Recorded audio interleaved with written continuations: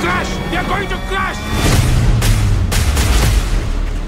सन 48 और पैंसठ में पाकिस्तान हमसे दो जंग हारने के बाद इकहत्तर में बड़ी तैयारी कर रहा था।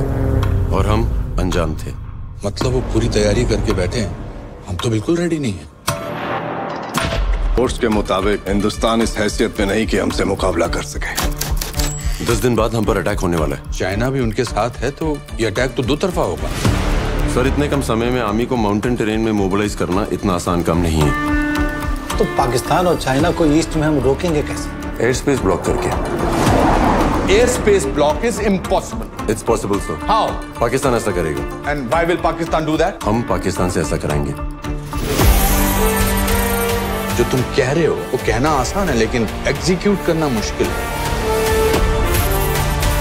गंगा तो डिकमीशन है सर खटारा है।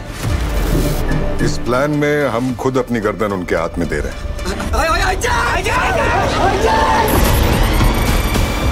ऐसा ऑपरेशन तो दुनिया के इतिहास में पहली बार हो रहा होगा और वो भी दस दिन में। रोको उसे उसे किसी की मदद नहीं मिलनी चाहिए। पाकिस्तान को हमारी असलियत पता चली और हम पर हमला हुआ तो?